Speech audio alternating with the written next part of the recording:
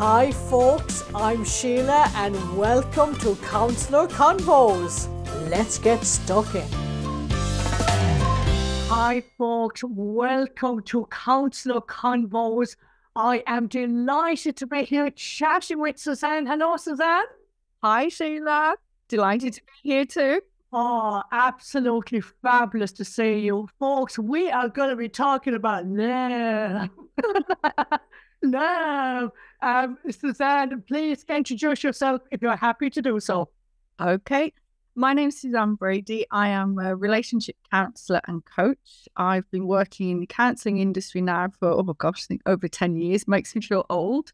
Um, and I work with couples, families, and individuals with all things relationship based. It's all good.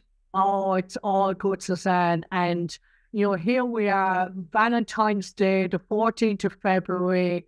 Uh, and, you know, this could be relevant for whenever anybody is listening to this because love, who doesn't need love, Suzanne?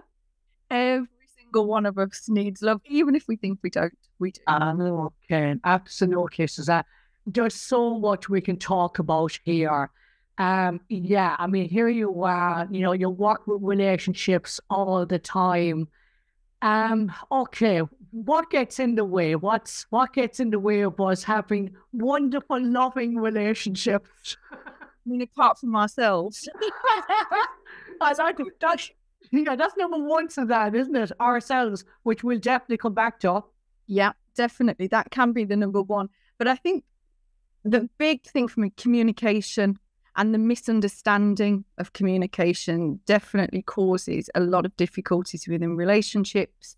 Um, and I think it's very easy when couples are in a tricky place in their relationship, then there's an assumption that whatever that other person is saying, there's an underlying meaning. And often that's where the, I think, lines get crossed, conflict happens. Um, so a lot of the work I do with clients is really unpicking the communication, the intention behind the communication and what's actually meant by that communication versus what actually lands. And we do a lot of work with the in between there. Yeah, absolutely, Suzanne. And there's so much of that with the communication, the miscommunication, uh, the different meanings that people take. And I think go back to the very beginning, ourselves first.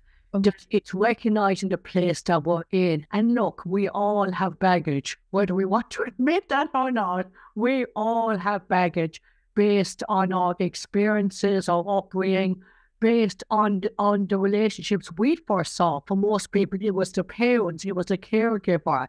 And depending on what their relationship was like, and an idea was it have a loving, healthy relationship well, a lot of times that's not always the case, and we tend to copy that. You always come across that all the time, mm. Suzanne. Yeah, it is, and you know, you you just talked about baggage, and really, what we're we're actually talking about is belief systems, and a lot of these belief systems we've inherited, as you quite rightly said, from our parents, possibly grandparents, what we've seen, what we've yeah. heard, we've observed, what we've even experienced, and a lot of these messages and these lessons that we just then roll out within our relationships, they're often unspoken. Um, and we just normalize that because that's always been our experience. And then when we enter a relationship with another person who will have their own belief system, that tends to be when these kind of conversations come to light because there's lots of conflict. Well, that's not what I do, or there's something wrong with you because you do something differently. Um, so that's where usually then people start to question, well, hold on, how am I showing up in relationships? And how do I want to show up in relationships? Uh, absolutely, Suzanne. And I think what we're talking about here is compromise and the, the compassion as well, that when two people come together, they both have different experiences like ideally be nice if you're coming from the same wavelength and you want the same things and you might have the same ethics and do you know what I mean? Stuff like that is going to be important. But it's also important to recognize that some couples are very opposite, but they work really well together. And it is about that understanding that they have a different experience from you. And it's that compromise, that understanding that one experience isn't better than the other. It's finding and compromise and bringing that together. Not always an easy thing to do, Suzanne. Do you know? One of the things I love with my couples, and I will say this to each and every one of them, I love difference in a couple. I think it adds to the relationship. I think it really is that kind of magic ingredient until it's not. And usually, when a, a, couple might be in a tricky situation, that's where the difference plays out and it can become problematic. But as you said, it's looking at that sweet spot, it's looking at that compromise, it's understanding that because you have a different way, it doesn't mean my way is wrong. We just have to work in a way that's going to work for both of us without a feeling that we're losing something, because I think that's what keeps people in conflict around, you know, their differences. They feel like they're having to give way or give something away. So yeah. if you get to that space where actually we're always looking for the sweet spot, we're always looking for that middle ground, and both people can keep their identities. Certainly, part of the work I love doing is what do you want to keep? Once you kind of recognize, well, this is how I show up, some of that will be really, really good stuff. And, you know, when we talk about families of origin, often people get a little bit nervous. They think we're going to sort of criticize, but not all of the things that we bring into relationships are unhealthy. So it's, it's very, very important to know what we want to keep, but yeah. then what's not so helpful. And then how do we change that? And most importantly, what do we want to change that with? So it's very interesting. Yeah, that sounds so lovely, Suzanne. I'm sure the listeners can hear the whole thinking, okay, we need to see some issues in our relationship. Um, absolutely. It is about your understanding, you know, sometimes becoming aware of your own background, uh, what was important to you, what you learned, and utilizing that, being able to keep that. And again, always not to the detriment of either person. And the thing is, look, folks, we're talking uh, about relationship as if it's two people. The thing is, a relationship doesn't have to be two people. You have other relationships that are polyamorous, where you have multiple partners and it's all consensual. And that's the thing, like times have changed a lot. You know what I mean? When you take up, especially in the Western world and the expectations and that it doesn't have to be just two people. What do you think, Suzanne? Absolutely. You know, those are the social norms I think that we've been living with and by, and, and a certain amount of pressure that comes with that because that won't be for everybody the, the traditional setup of a relationship. Yeah. So I, I think, you know, as long as people know what they're going into, they're making informed decisions about the relationships that they're entering. Yeah. Of course, with the polyamorous relationships, I think boundaries with any relationship is really important, but here it's really important so that, you know, people's feelings are protected and people know exactly it's around managing expectations. But of course, there's place for all types of relationships. And, you know, it's one of those sayings, love is love. And I think, you know, it can be overused, that saying, but really that's the, the basic truth. Love yeah. it however we express that. Yeah. And you know something like the thing is is that not everybody can love just one person. Like that's the thing, you know what I mean? And that's why I think it is important to have an open mind with this. Because like something like this whole kind of convention thing of being with one person for the rest of your life, that doesn't suit everybody. And sometimes, or even with friendships, and you know, that reason, a season, or a lifetime expression, you know, that sometimes couples they really can work together at a certain place and time in their lives.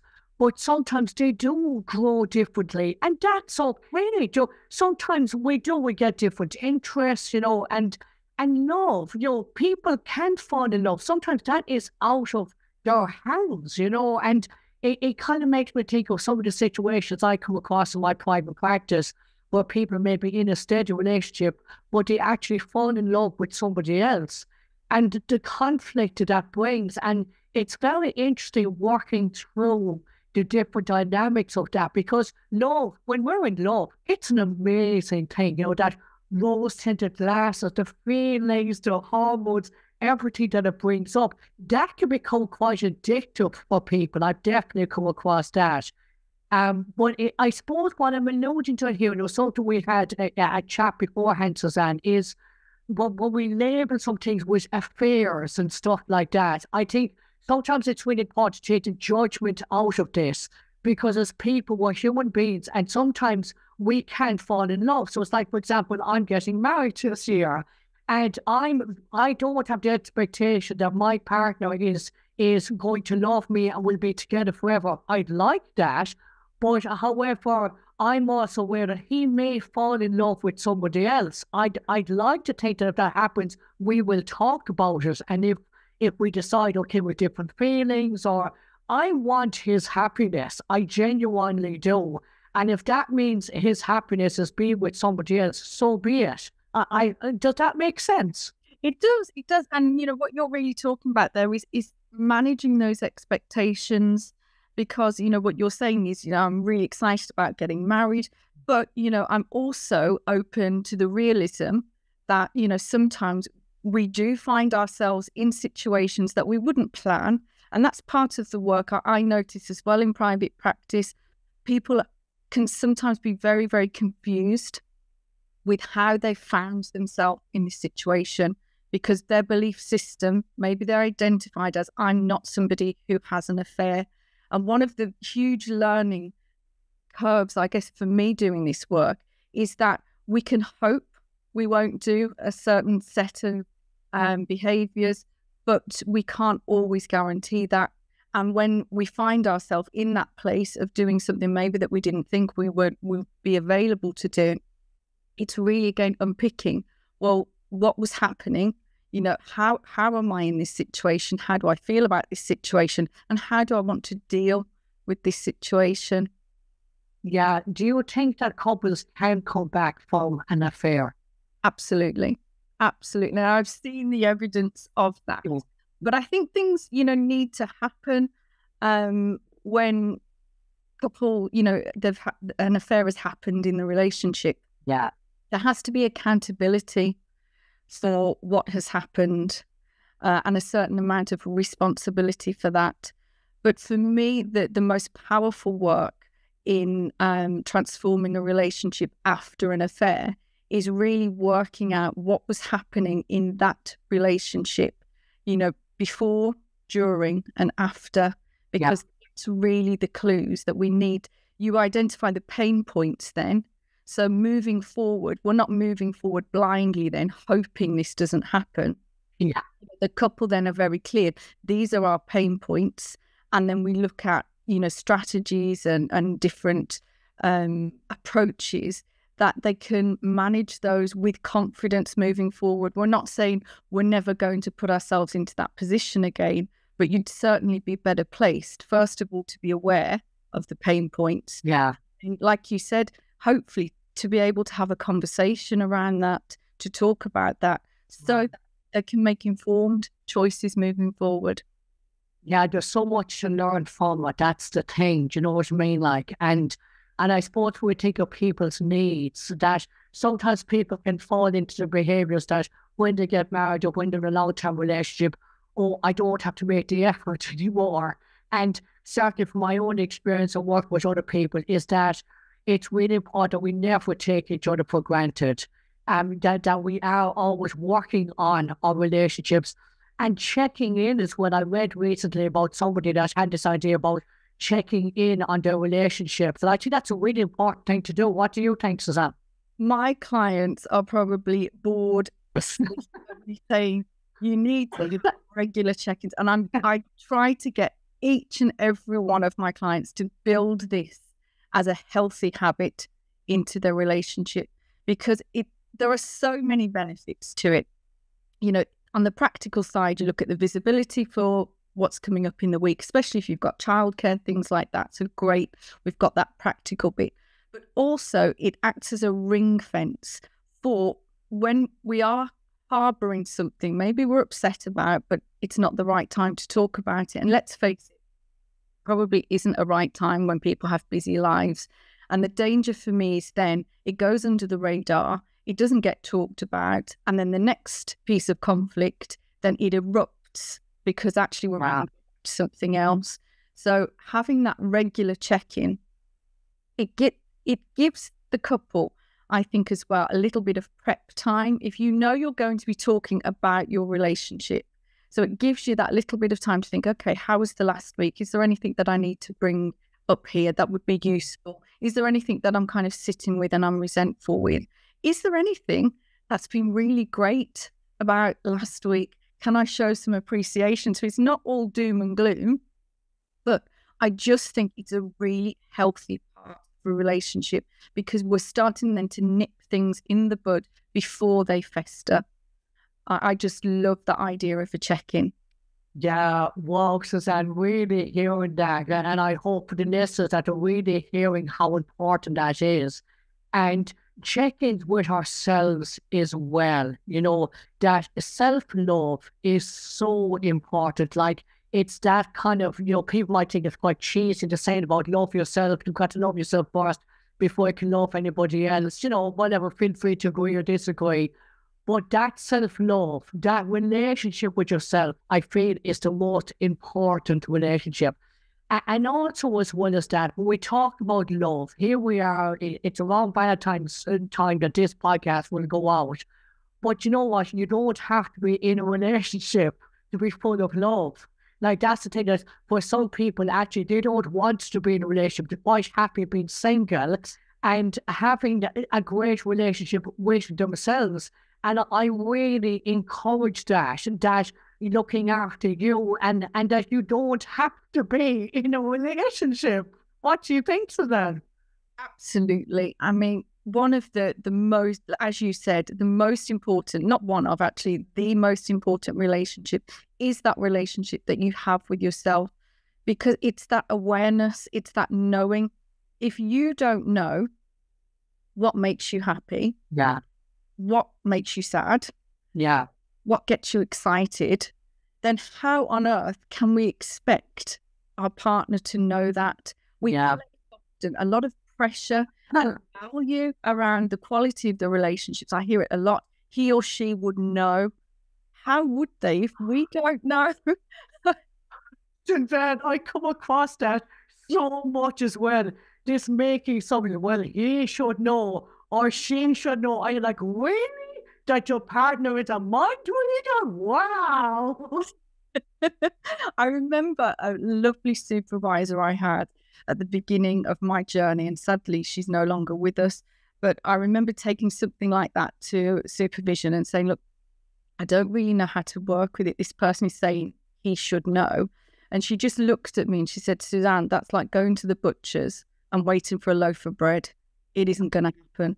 and I remember thinking, thanks. Okay. How how I take this into session, I don't know. But it it comes back to me over and over again in working with clients. Yeah. That is the reality of it. You know, we need to know ourselves so that we can help, support, guide our partner. And then if we're still not getting what we want, it's a different set of questions. If we're able to communicate, well, this is important to me, this is yeah. So if we're able to do that, um, brilliant. But if if we're still not getting back what we like, it is a different set of questions. Yeah, absolutely. Uh, you know, going back to that, if possible, about know what you want, first one, knowing you. Now, I'd like to bring on to this topic of sex because I don't want you, Suzanne. I find that's a massive part of the dynamics of a relationship and often what brings up a lot of problems, you know. And that's the thing, like when we talk about generation behaviors and stuff like that, like here we are talking about knowing you first and then being able to ask your partner for what you want. For some people, certainly like myself, having such a religious upbringing, like masturbation, any of that, we're, we're seen as a sin and all that. So that's all the stuff that you're kind of bought into. And I certainly know myself, I don't mind sharing stuff because I think it's important if we talk about stuff that we can share, um, whatever people are comfortable with that I know for myself that would have brought a lot of issues for me in relationships around nudity and sex and all of that, and, and feeling like you're a sinner if you touch yourself. And the thing is, is that like it is important to get to know you and your body actually. You know what you like, you know, because sex and passion and desire and connection it is a massive part of a relationship. And I want to add to that, this was part of an article that I wrote on orgasms, okay? So I'm going to really promote the listeners to have more orgasms, whether that's self-love, whether that's a friend benefits, okay? Let me say, I want you, did you know that orgasms can have great benefits like boosting your immune system, lowering anxiety, relieving stress, improving mood, and helping you to sleep better? That actually orgasm, orgasming releases oxytocin, which reduces cortisol and can reduce anxiety. So whether you're in a relationship or not, self-love, but also getting to know your body. So then if you do decide to be with a partner, you can say, actually, this is what I like. And hopefully they're able to listen to that. If they're not, then it's a different question because I know that one of the issues in my previous relationship was guys were thinking, don't tell me what to do. I know what you like. that was never going to work with you, Sheila. you know me so much. but it, uh, and listeners, Suzanne's known me for many years here. Uh, but you can see the issues with and, and the pressure from guys like you know that my partner fair play to we've been through couples counselling ourselves he doesn't mind me saying this that for him as a bloke he felt so much pressure that I'm a guy, I should know. Yeah. Oh my God. And it, it is, it's those huge roles and responsibilities, you know. And I think, you know, I was just thinking as you were speaking, in my family, you know, we've all got labels, I guess, for each other. And one of my labels, definitely growing up, was I, Suzanne's prudish. Really? Um, and again, I came from a Catholic uh, background, went to a convent girls' school. Um, and I think, you know, for a long time, I, I was very prudish. Yeah. I, I, grew up with the understanding um, that, you know, sex was almost dirty. Not so much, not from my parents, I would say. This was more to do with probably my education. Yeah. Um, so, you know, it's taken me a while to kind of move away from those limiting beliefs. And as you said, you know, embracing it, knowing that it's a very natural part of life and an essential part. You know, you were you were just reaming off all of the um, health benefits, and I just thought, and the big thing is the enjoyment. So we're getting all of these health benefits, but the actual enjoyment, yeah.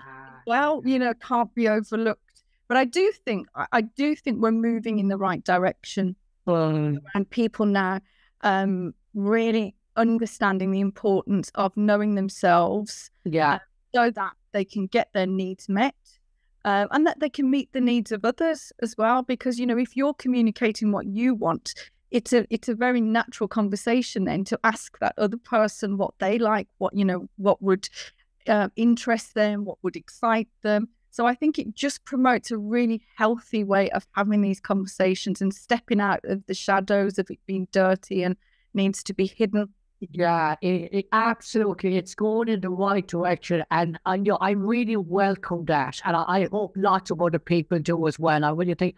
And I would really encourage any listeners to put their comments actually and to share with this conversation, maybe some of their experiences and some of their learning. So we can create healthy conversations, healthy ways of being utilizing all these amazing things that are available to us without any judgments, without any shame, without the stigma from before. That again, it's each to their own. I'm always banging on about this, but I just kind of believe in in in do what feels okay for you.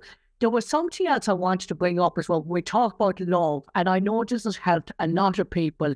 Is love languages, Suzanne? For any listeners that might be familiar with love languages, can you explain a bit about them? I can. And I must admit, Sheila, when I was learning around love languages very, very early on in my career, I did kind of think, I don't know whether this is my bag. It felt a little bit fluffy.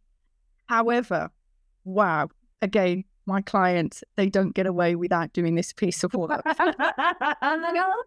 so, so important. So, love languages five main love languages, and there is a quiz.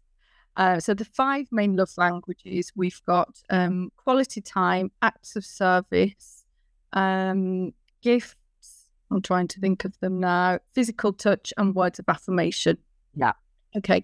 So those descriptors in themselves, for me personally, and I think this is where it felt a little bit fluffy for me. They're quite vague. And quite generic. Um, so you complete the quiz and then you score your love languages and you know whatever they would come out um, your highest love language. The real value of the work that I send my clients away to do is the individual part. Then, so for example, if your love language, um, the highest one was quality time. My idea of quality time and your idea of quality time would be probably quite different. Mm-hmm. But if I don't know what your vision of quality time is, then I'm likely to just apply my own logic to that. In terms of feeling loved and cared for, then in a relationship, um, often we're missing, it's not landing the way we'd like it to. You know, yeah. I a lot. I do all of these, and he or she never appreciates it, but they pick up the one thing I don't do. But and that's what I'm hearing then. They're not picking it up because it's not landing, it's not on their measure in mm-hmm. terms of their love language styles. Now, this doesn't mean that we have to morph into each other, and I have to make that very clear. Yeah. sometimes wonder do my clients think I'm trying to clone them each other, uh, but it's not. Love languages, what we're really doing is creating a toolbox that we can dip in and out of. So when we feel like we want to do something nice for our partner, we know exactly what's going to land. Now, this isn't from a manipulative point. Yeah. We want them to feel loved and cared for. And we know now through this information, this is what would make them feel loved and cared for. Mm. And I often think when we're implementing it, it's a bit like a smile. When you smile at a stranger, they just smile back. Yeah. It's instinctive. And when love languages are exchanged in a relationship, they, they they continually be exchanged. You know, if I do something nice for you, you're more likely to think, do you know what? I'll, I'll do something nice. And that's what keeps these love languages going. Um, but also it keeps the relationship, it really kind of raises the value and it raises how people feel within those relationships. You know, they do, they end up feeling loved and cared for thought about. Um, because again, it comes back to getting our needs met. Um, everything boils back, but we need to know what our needs are before we can get them. Yeah, and I think sometimes we need to be aware. Again, go back to love language is how we show, how we give and receive love. And generationally, there was a lot of people that um, it wasn't comfortable for them to say, "I love you." Do you know what I mean? That some in some generations that just wasn't a done thing. And for somebody, they might really want to hear that, yeah, I love you, but that might be comfortable for the other person. Now, that doesn't mean that they don't love you.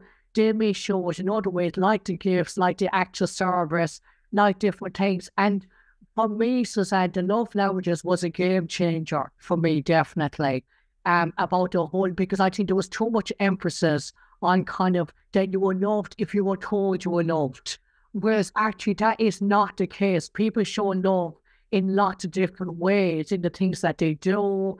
Uh, you know, in not, and I think being able to understand that, being able to know your background, how you show and receive love, and to know your partner or whoever you're involved with, to know where they're coming from. Wow, you can really then move forward as in what helps them, what helps you, or uh, but again, it's not a, a tick for tat. It's just because you want to add to each other's lives. You know, you you want you know like there is so much, and, and I must say, the love languages. I've done a video on that on my YouTube channel where there's a link to it, um, the love languages test. So I'll ask Ben to put that in the write up with. Mm. And so this will be on my YouTube channel where people can look at the video about it and then go and do the test um, because I'd really encourage sex and It's such a game changer, isn't it? Because it filters across all aspects of the relationship. You know, you can really then understand how you communicate, how you want to be communicated with, how you do conflict. It it really and, and oh god, I'm so passionate about love languages because it is the gift that keeps on giving. Because then if you've got children, if you've got parents, friends, you can actually understand then, or maybe this is why, you know, they do that thing. Maybe this is why they value something um, that maybe we wouldn't value. Yeah. It just, it really kind of opens up a new understanding of how how we communicate and how other people communicate with us. And one of the things I would definitely say is it's not a one off thing. I recommend that people um, do the love language quiz probably every six months. Oh, okay. Because, like, you know, we change more than anything.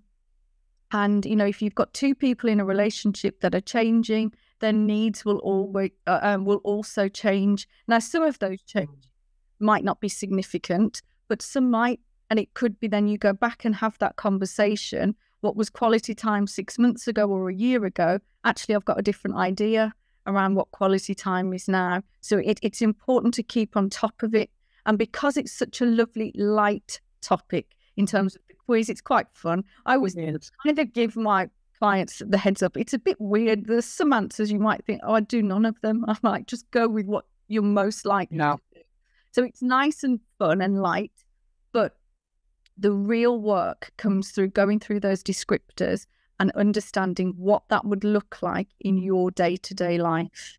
Uh, and letting your partner know in as much detail as possible because we think in images. So, the more information we have by hearing, we're creating that image, we're more likely to retain it and more likely then to implement it. So, it's really powerful.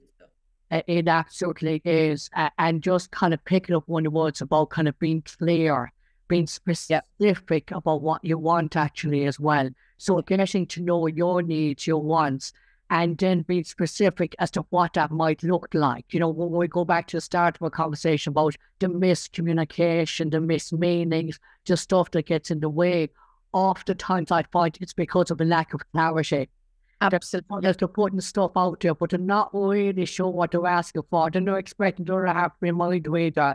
And we really kind of need to take that kind of responsibility, do you know what I mean, and own it. And again, being specific. And, you know, listeners, like, um, I'm going to let you know. So, Suzanne and I have weekly meetings. We, we've been doing this. Uh, we're probably into our fourth year now, Suzanne. We are. We are. You know, where we are a peer support for each other for whatever we need and we're both very much interested and the belief in kind of the flip side, the positive side. The, the, you get what you focus on, manifestation, whatever you want to call it.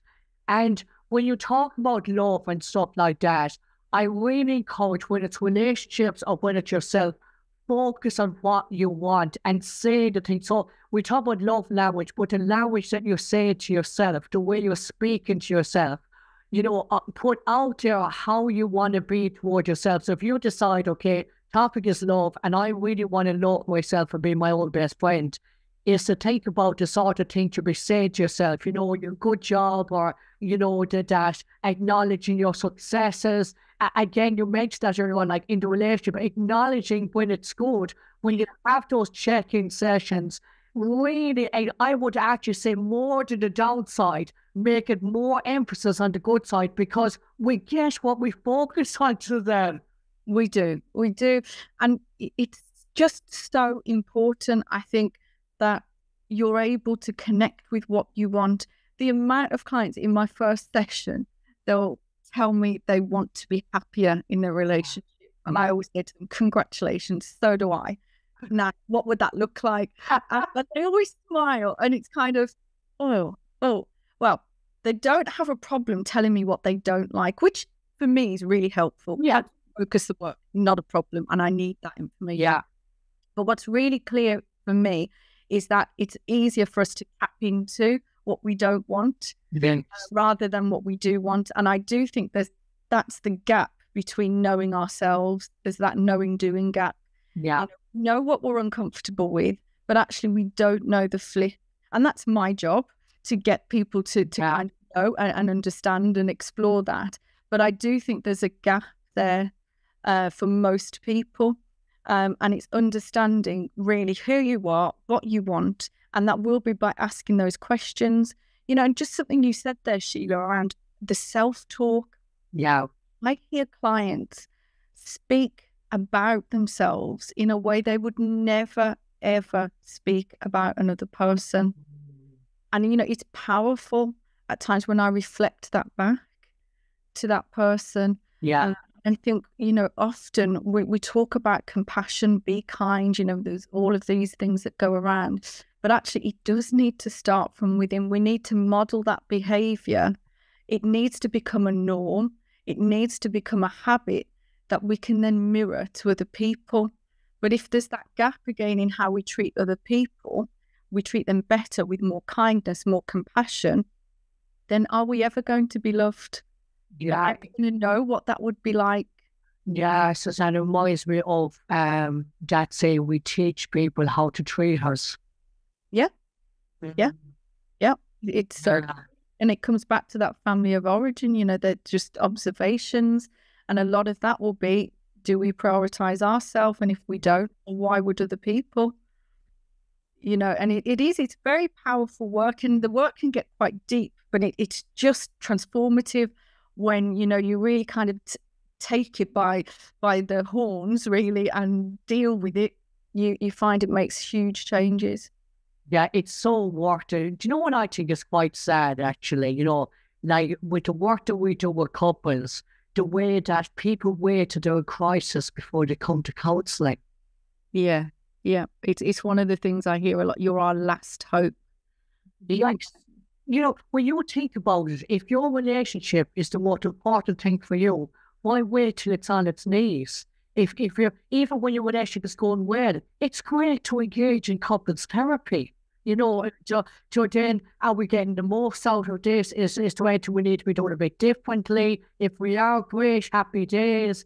Why wait till it's on its knees? It, it to me it doesn't make sense. No, and do you know what? I have I have clients that I've worked with for years now, um, and they've got the idea. It's like a maintenance. Okay. Um, so I don't work with them every week. They don't Yeah. every week, but I work with them on a regular basis. And sometimes they would say to their friends, you know, oh, we- we're going to therapy, and they say, but why do you go to therapy? You know, you're getting on, and they go, that's exactly why we go to therapy. And, you know, it is to keep the relationship fresh. It's to, again, to revisit some of these things, to check out is this working for us? If there's life stages and changes coming up, how can we prepare for them? So it, it's really how you look at therapy. And I think this is why lots of people put it off because for some clients, I think if they think they need outside professional help, then is the relationship doomed? You know, are we really in this much trouble that we need somebody else? So they try and do the fix themselves. And I think for other people, um, they're nervous of the process. You know? I they sometimes I, I wonder what people think therapy's like. Like, They're terrified. And I, you know, for me, one of the things I try to do is relax my clients because I know I get the best out of them. They get the best experience. Yeah. But I do wonder sometimes, you know, what what do people think therapy, especially if you know we talked earlier about where somebody's had an affair. Yeah. Do they feel that they're going to be judged? Do they feel that you know there's going to be punishment of some sort? Yeah. a lot of you know i think that can feed into the reluctance uh, and then it's the desperation okay right if something doesn't change now i'll go for help. And of course we we still work with those clients and we can still make huge progress but for them it's the pain i think and the damage that is is continuing to happen whilst they notice there's a problem with the gap between when they get help then the, the damage is still happening Yeah, yeah. I mean, definitely, you're finding this as I would really highly recommend whether it's working on yourself or working, you know, in a couple or a group couple, is don't leave it to the last minute. You know, there, there, there's so many benefits of going into therapy. It's non-judgmental. You know, we're not there to criticize or to blame or to point. None of that. It's the complete opposite, actually. And I often find that with clients are thinking, oh my God, I can literally say and do whatever I want and I'm not being judged. It's such a relief for them to have the space and to offload. And the thing is, like, I mean, I find sometimes with couples when they come in that one person thinks the other person needs to change. Now, you tell what she needs to do. or You tell, you just tell him what he needs to do and we'll be all right, you know? that look, it has to be self accountability. And sometimes I do bring in the humor, I bring in my comedy background to kind of highlight behaviors, to use humor to relax people and to take look, you know. And it does work actually, you know. Wait, I yeah, I was just thinking that I remember a couple of clients who, you know, when I've been the opening kind of assessment stage and asking them, you know, what, what's brought you to counselling and what are you hoping to get? And they'd been sent. oh no. And you know, I, I remember it's quite sad actually. One guy said, yeah. I, I need to be fixed. Oh, look, show me somebody who's fixed. None of that fixed. It'd be boring to be packed. well, show me looking at nothing. You know, good luck with that.